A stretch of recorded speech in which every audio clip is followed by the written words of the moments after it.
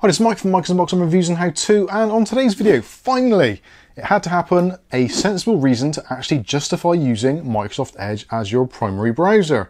So in today's video, we're going to take a look at a new feature which you can enable in the Edge browser, which will take a lot of the hassle out of using the internet away. Now this is their new Scareware Scanner or Scareware Blocker. This is actually a really cool tool if you, like myself or many other people, have browsed the internet and you know what it is. You go down little rabbit holes and you click on things, or maybe you've been shopping on a popular website and after you finish shopping, you get a pop up saying, Would you like to get £75 worth of free vouchers for answering a survey? You click on it, and then all of a sudden, you get all these weird pop ups, and your browser just gets overrun. And then you get the thing saying, Please call Microsoft, your PC is infected, and you hear all these sirens and noises. And it's just absolute terror.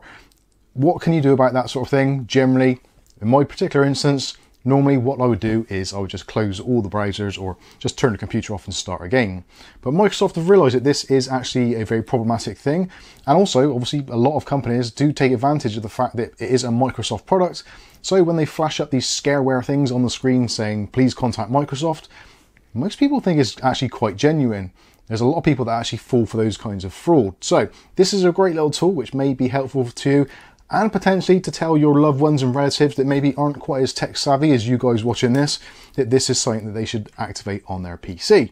So with all that said, let's head over to the computer and I'll show you how to do it.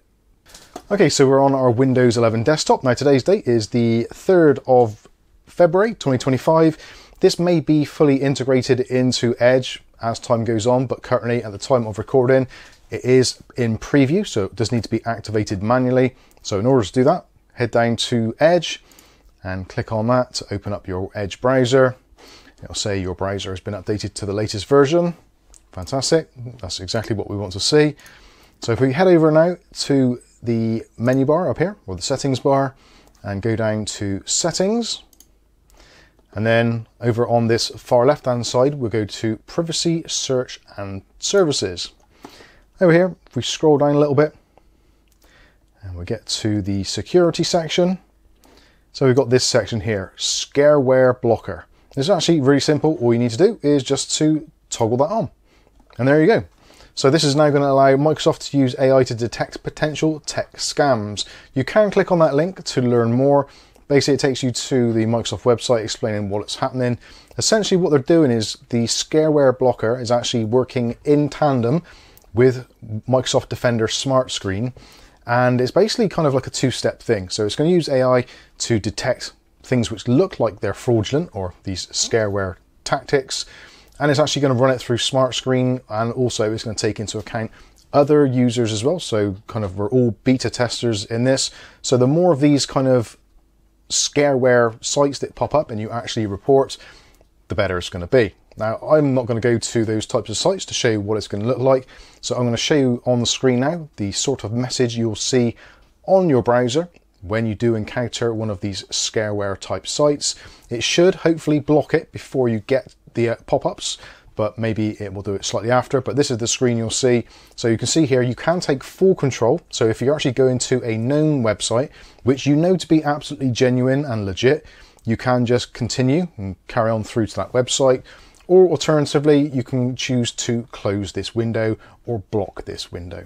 So that's going to be great for a lot of people who get a little bit panicky or maybe don't know if these pop-up things are genuine or not. Maybe they have got a virus. Hopefully this is going to go some way to actually preventing that scaring and hopefully make it so that people that are using Microsoft Edge are a little bit better protected than those in other browsers. I'll also be putting a link in the video description to a unlisted video from Microsoft themselves explaining a little bit more on how this whole process works. So please feel free to check out the comments and you can click on that video. At the moment, like I said, it is from Microsoft. It is actually unlisted. So Microsoft aren't publicizing this at the moment, so if you want to get early access to that video, then do use the links in the video description. But overall, I think this is a really good step in the right direction, using AI for things which actually is beneficial for. I know we're all really, really tired of the whole AI thing and seeing it increasingly added to all kinds of marketing bump, which we don't really care about. But actually in this instance, I think it actually does make a lot of sense.